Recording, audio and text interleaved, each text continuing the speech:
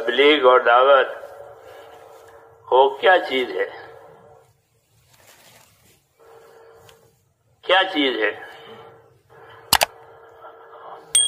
तो बात यह है कि तबलीग और दावत अपनी ज़िंदगी की जिम्मेदारियों को पूरा करना है आखिरत बनाने के लिए। ये तबलीग। ये तबलीग।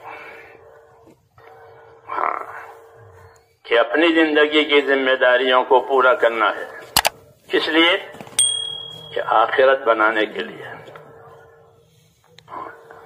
यही तबलीग है कि अल्लाह ने हम पर क्या जिम्मेदारियाँ डाली है, उसको समझना, सीखना, और फिर उसको आखिरत बनाने के लिए पूरा करना।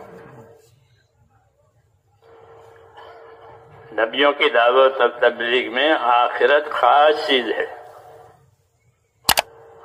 वह अखलसना हम बेखालसतिन जिक्रदार अम्बिया कराम के बारे में ये फरमाया। आखिरत के बारे में हाँ ये हजरात पूरी तरह यकसू होते हैं। कुछ नहीं चाहते दुनिया से। फरमाया, मेरी मिसाल तो ऐसी है कि कोई मुसाफिर हाँ कि जंगल में जो सफ़र कर रहा है, राहगीर है, वो किसी दरख के साय के नीचे थोड़ी देर बैठ जाए, सस्ता ले और फिर अपना रास्ता ले। ऐसा हमारे दुनिया का क्याम है, यूँ फरमाया।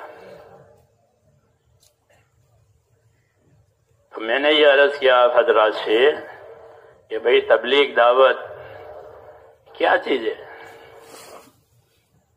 कि अपनी ज़िंदगी की जिम्मेदारियों को पूरा करना है आखिरत बनाने के लिए।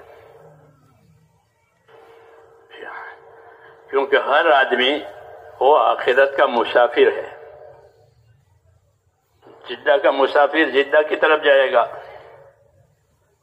बंबई का मुसाफिर बंबई की तरफ़ जाएगा। तो ही वो मुसाफिर है, वरना वो भटका हुआ है।